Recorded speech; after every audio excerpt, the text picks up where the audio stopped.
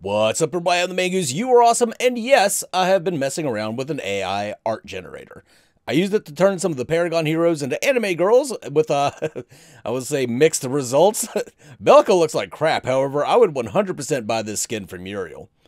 Unfortunately, the AI tended to go for more of the cutesy side of anime instead of turning them all into dark skinned MILFs with fat tits. If, if I would have had that option, I would have checked the hell out of it, believe me. Uh, I mainly did the females because the males, I, they all turned out horrid. I tried to do, for some reason, the AI kept, it kept trying to make all the males into, into women it, with just terrible results. Uh, however, I did throw in a few that cracked me up, like Rampage. Anyway, I thought this was funny, and I hope you guys get a kick out of it too.